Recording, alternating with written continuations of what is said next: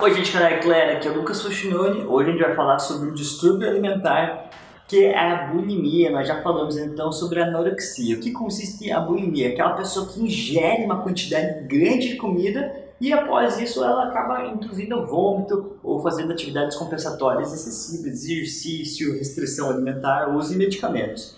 Então, às vezes, a própria pessoa tem vergonha de demonstrar tanto o comportamento é, compulsivo de ingerir quanto esse de expurgar. E pode estar escondido da família. Muitas vezes a gente acha que é só aquela pessoa que está sobrepeso e tudo, e não, às vezes a maior parte são pessoas que estão no peso IMC, que nós já falamos no vídeo como calcular, adequado. E muito importante então estar tá verificando isso na sua família, que às vezes tem pessoas que podem estar sofrendo pode estar necessitando de ajuda e amparo e não estão recebendo porque a família não está percebendo.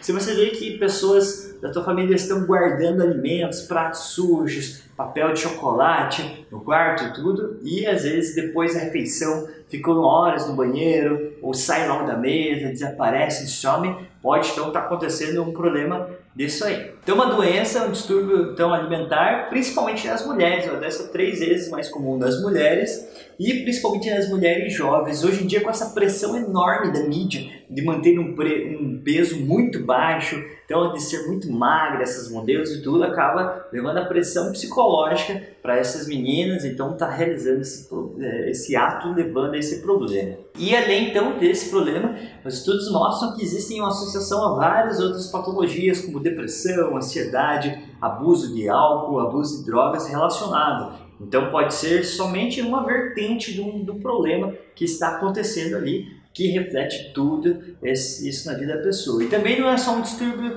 é, emocional, também um distúrbio de saúde que pode estar levando a feridas das mãos, aumento da glândula parótida, irritação do esôfago, uma vez que não é comum um ácido gástrico ficar passando pelo esôfago, né? Pode atuar nos esmaltes dos dentes, então pode estar levando uma série de consequências, então também nutricionais. Por isso que o tratamento deve ter um apoio da família, apoio psiquiátrico, né, apoio nutricional, psicológico para a pessoa estar tá levando isso em frente. E olha só, pode até acontecer recaídas. Aquela pessoa que melhorou pode ter recaídas pelos próximos seis meses, é o que mostra os estudos. Então, se você tem alguém na família ou se você já está passando por isso, é muito importante buscar ajuda especializada. Não vai achar então que é falta de caráter da pessoa, da família. Às vezes a gente tem é, é, essa característica né, da gente achar que a pessoa está fazendo por mal, mas não, gente, precisa de ajuda, precisa buscar então acompanhamento, tá bom? Nós temos outro vídeo a respeito da anorexia que é bastante interessante você estar tá assistindo.